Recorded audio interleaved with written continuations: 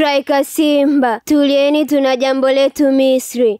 Licha ya matokeo ya sare mabao mawili kwa mawili aliyopata dhidi ya Al Ahly, striker wa Simba Kibu Denis amechimba mkwara mzito kuwa bado anaamini wana nafasi ya kuwaondoa wapinzani wao wakiwa ugenini na kutinga nusu fainali ya mashindano Africa Football League. Simba Ijumaa iliyopita alicheza robo fainali ya kwanza dhidi ya Al Ahly kwenye uwanja wa Benjamin Mkapa, Dar es Salaam, wakalazimishwa sare ya mabao mawili kwa mawili huku Kibu akiifungia Simba bao la kwanza la kusawazisha. Timu hizo zinatarajia kurudiana kesho Jumanne katika mchezo wa mkondo wa pili ambao unatarajiwa kupigwa nchini Misri. Mshindi wa jumla atafuzu hatua nusu fainali ya mashindano hayo. Akizungumza, Kibu Denis alisema, kwanza tunamshukuru Mungu kwa kuwa tujapoteza mchezo. Tulicheza dhidi ya timu bora na kama timu tulipambana kwa kila hali. Unaweza kusema ni kama tulikuwa na bahati ya kupata ushindi. Hatujakata tamaa.